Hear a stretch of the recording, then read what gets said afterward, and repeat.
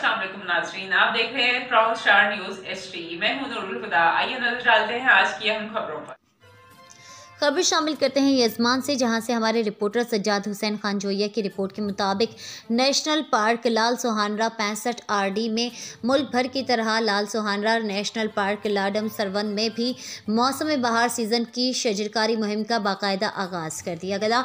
Deputy commissioner Bahawalpur Irfan Ali Kathia और assistant commissioner Bahawalpur सदर मोहम्मद तैयब और असिस्टेंट कमिश्नर यजमान मुजाहिद अब्बास और कंजर्वेटर जंगलात गोहर, मुश्ताक साहब और डीएफओ फजल रहमान शाह साहब और जनाब चौधरी सरफराज जजा, chairman market committee Ajman Bahawalpur ने पौधा लगाकर किया और दीगर ने भी पौधा लगाया।